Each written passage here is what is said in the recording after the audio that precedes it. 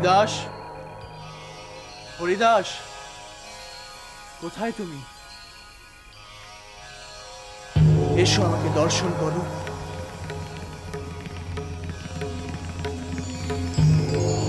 হরিদাস, বলো বলো তুমি কি বর চাও?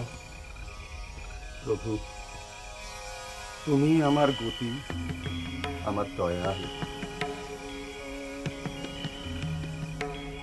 আমার মতো পতিতকে তুমি দয়া করো প্রভু। আমি যে বিষ কুলে পড়ে রয়েছি, তার থেকে আমায় উদ্ধার করো। আমায় দিন করো প্রভু। তবেই আমি তোমার কৃপা পাওয়ার যোগ্য হব। প্রভু, তোমার মুকুন্দ বাইরে বসে কাঁদছিল। তুমি ওকে প্রসাদ করো প্রভু। কে বললে মুকুন্দ আমার?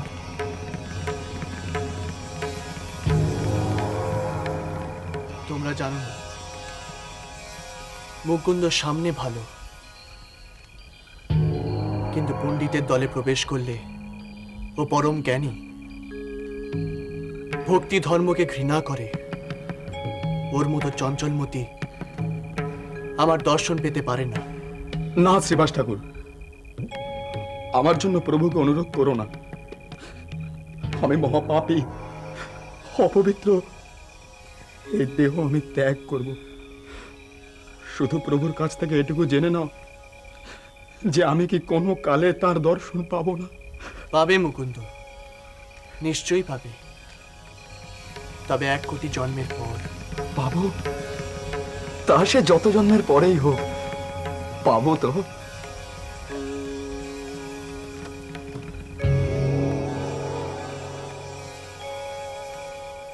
মুকুন্দ, আমি তোমার সঙ্গে পরিহাস করছি। তোমার মতন ভক্তকে কি আমি দণ্ড দিতে পারি? এসো, সকলে মিলে আমরা নাম গান করি।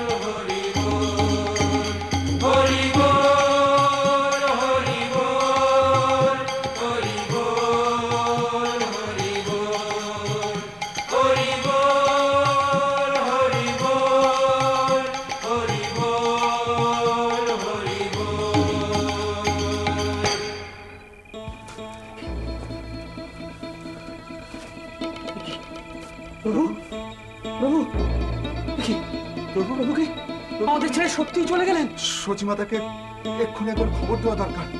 দেহে তো প্রাণের লেশ মাত্র নেই। দাঁড়া দাঁড়া আমি একটু জল নিয়ে আসি। প্রভু প্রভু প্রভু। একবার চোখ মেলো প্রভু। প্রভু চোখ মেলো প্রভু। একবার একবারটি চোখ খোলো প্রভু। প্রভু। প্রভু চোখ খোলো প্রভু। তাকাও প্রভু। একবারটি চোখ খোলো প্রভু। তাকাও প্রভু প্রভু। প্রভু প্রভু। কি ব্যাপার? তোমরা সবাই এভাবে বসে আছো কেন? আর তুমি ফাঁকি দিতে পারবে না প্রভু। এবার তুমি ধরা পড়ে গেছো। তুমি জ্ঞান হারিয়ে পড়ে আছো। আমরা তোমায় ঘিরে বসে আছি প্রভু। তোমাদের খুব কষ্ট দিলাম না? না না আমাকে তোমরা ক্ষমা করো। অনেক হয়েছে। বেশি কথায় কাজ নেই। বলি খিদে তেষ্টা আছে তো? আরে আরে এক্ষুনি তো ভোর হয়ে আসবে। ওঠো ওঠো ওঠো। চলো গঙ্গা স্নানে যেতে হবে।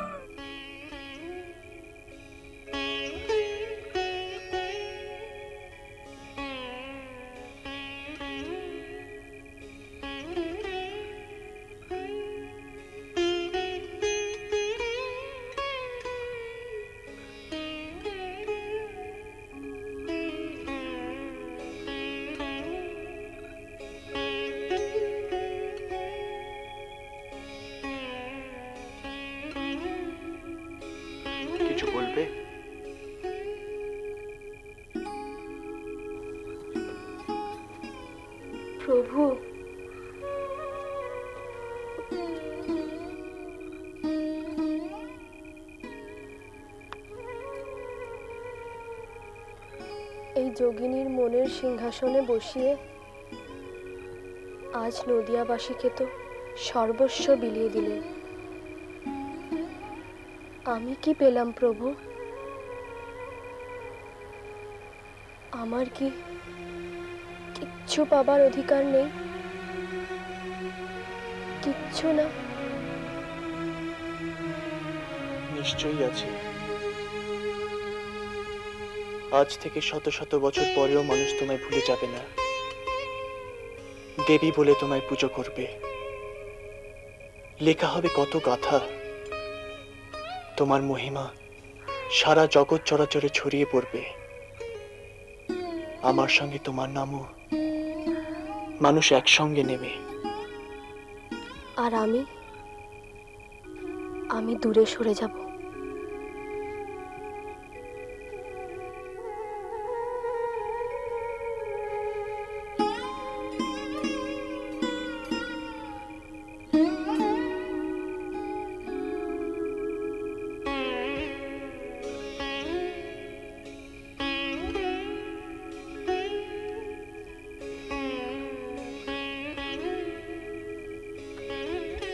তুমি কাঁদছ। আর চারিদিকে মানুষ আমার জয়ধ্বনি দিচ্ছে। আর তোমার চোখে জল।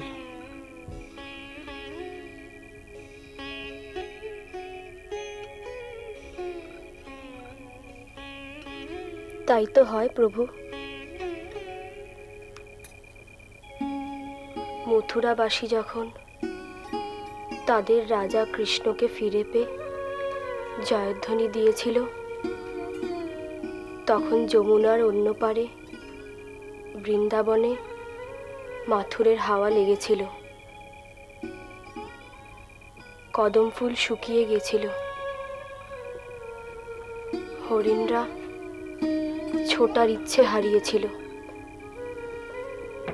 আকাশের চাঁদকে দেখে শ্রী রাধিকা সাপ সাপান্ত দিয়েছিল। কেন উঠিস পোড়ামুখী? সে বালাই তো গেছে।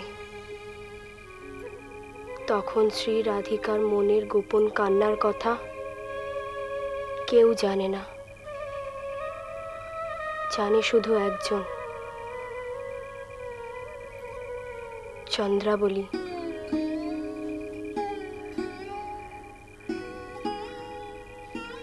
শুধু সেই জানে। রাধা আর কখনো জ্যোৎস্নার আলোয় গা লুকিয়ে, সাদা ওড়না জড়িয়ে অভিসারে যাবেন না। মথুরাবাসী যখন জয়ধ্বনি দিচ্ছে, তখন রাধা একা কুঞ্জবনে বসে তার ফুল স্বাদ ছিঁড়ে ফেলছে। নিঃসঙ্গ।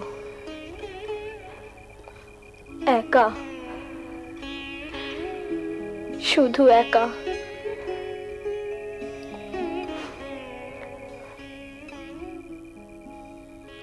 শুনেছ যাদব? নিমাই নাকি মানে ভগবান সেজে নিজের মায়ের মাথার ওপরে পা দিয়েছে। এসব অলক্ষণের কথা কি আর চাপা থাকে? আরও খবর আছে। মা নয় ও নাকি দাদুর বয়সী অদৈত্য ব্রাহ্মণের মাথাতেও পা দিয়ে। কি বলছো কি? পুণ্যম নরকে যাবে। এ দেখে নিও ব্রাহ্মণের কথা কখনো মিথ্যে হয় না। পুণ্যম পুণ্যম ও কোথায় যাবে? আমি কি করে জানি? আমি তো আর সেখানে যাচ্ছি না। খুশি কথা করছ করো তুইও বলে যাচ্ছি পাপের ফল নিমাইকে পেতেই হবে।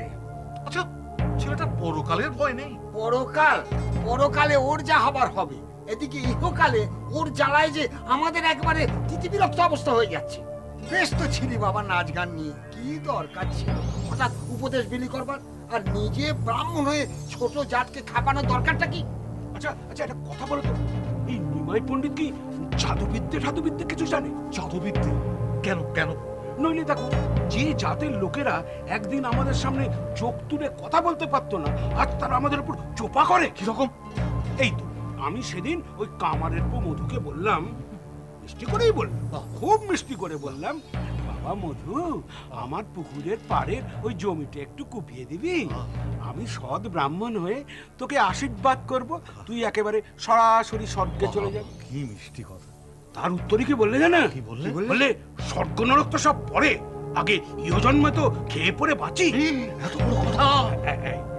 তারপর বললে আমি কুপিয়ে দিতে পারি যদি এক করি পাই। হ্যাঁ। তখন আমি আরও বুঝিয়ে বললাম দেখ বাবা আমি একজন সৎ ব্রাহ্মণ হয়ে তোকে আশীর্বাদ করব। তুই সরাসরি স্বর্গে চলে যাবি।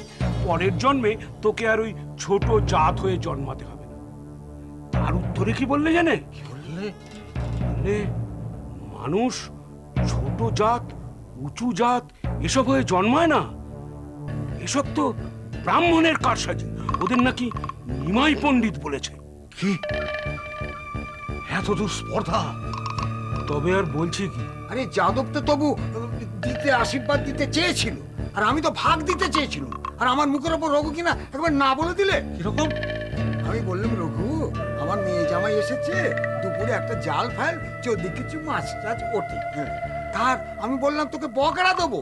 আমার মুখের উপর না বলে দিল। বললে, আমি পারব না, আমি মেয়েকে দেখতে কাল নাই যাচ্ছি। আমি বললাম যে, রঘু, তুই পারবি না? বলে না, পারব না। বলে বলে কি না, যে নিমাই পণ্ডিত বলেছে, সব জীবের মধ্যে ভগবান আছে। আমি মাছ মারতে পারব না। তোমাদের কথা শুনে মনে হচ্ছে ওই ছোট জাতের লোকেরাই আমাদের এক ঘরে করে ছাড়বে। ভৈরব পণ্ডিত আমার কি হবে? আমি যে পুজো আচ্চা ছাড়া কিচ্ছু জানি না। এটাও তো ভালো করে পারো না। সংস্কৃত উচ্চারণে যথেষ্ট ত্রুটি আছে তোমার। সংস্কৃত না জানলেও ভগবানকে ডাকা যায় নিমাই পণ্ডিত বলেছে। নিমাই পণ্ডিত বলেছে। তাহলে ডাকো। ভগবানকে সেভাবেই ডাকো। নিমাই পণ্ডিত বলেছে। এই তো শুনছি সাক্ষাৎ ভগবান। তুমি দেখছি নিমায়ের প্রশংসায় পঞ্চমুখ? ওদিকে পোড়ামাতলায় কে একজন লোক এসেছে। তাই নাকি? হ্যাঁ। চলো তো দেখি। চলো চলো চলো। চলো।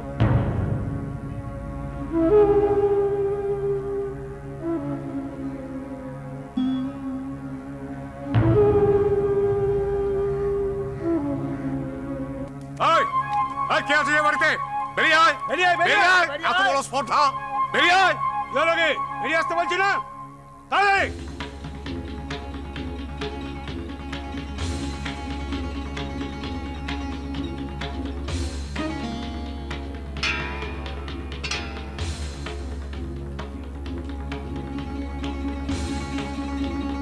এই এই কে রে কোথায় গেলি কে আমি গোপেন গোপেন বাউরি জয় শম্ভু। ভৌরি মনে তো চন্ডা। সরল হয়ে তোর এত বড় স্পর্ধা তুই বামুন পাড়া এসে বলেছিস মাত্র এদিকটা আমি আসিনি অমনি ঘরটা ফাঁকাবে তার মধ্যে ঢুকে গেছিস? এত বড় স্পর্ধা আজই এই ঘর ছেড়ে দিয়ে চলে যাবি। তোর ছায় বালানো পাপ তুই জানিস দয়া করুন ঠাকুর আমি বুড়ো মানুষ চোখে দেখি না। এই ভাঙা ঘরের এক কোণে পড়ে আছি কারও কোনো ক্ষতি আমি করব না। কদিনই বা বাঁচব? শেষ কটা দিন। হ্যাঁ, আর মরার জায়গা পেলি না শেষে এখানে মরতে এলি? তোদের দিয়ে তো আমাদের কোনো কাজই হবে না। কাজ আমি করতাম ঠাকুর। শ্মশানে মরা পড়াতাম। চোখ দুটো গেল। যতদিন হাতে বল ছিল তাও করেছি। এখন শুধু ভিক্ষে করে পেট চালাই। তাও ভগবানের সহ্য হলো না। নদীর পার ভেঙে গেল। ঘরটাও তলিয়ে গেল জলে। নাম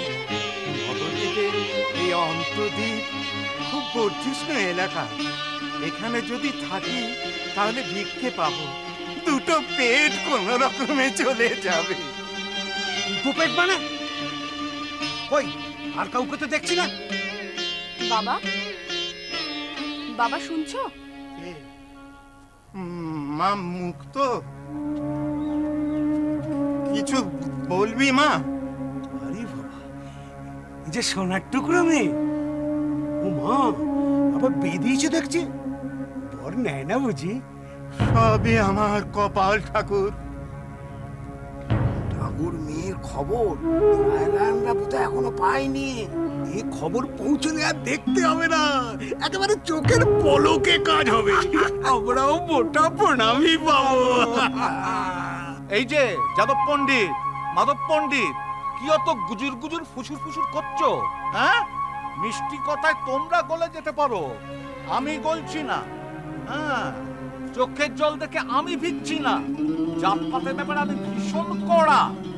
আজই যদি ঘর ছেড়ে চলে না যাও, তাহলে নগর কোটালের কাছে খবর যাবে তখন মজাটি টের পাবে। ভালোই ভালোই আজই এই মুহূর্তে কেটে পড়ো। চলো বাবা আমরা এখান থেকে চলে যাই। আমি তখনই বলেছিলাম, এখানকার বামুনরা ভীষণ কড়া। আমরা না জেনে শুনে বামুন পাড়ায় ঢুকে পড়েছি। আপনারা আপনারা দয়া করে আমাদের একটি বেলা সময় দিন। আমরা এখান থেকে চলে যাব।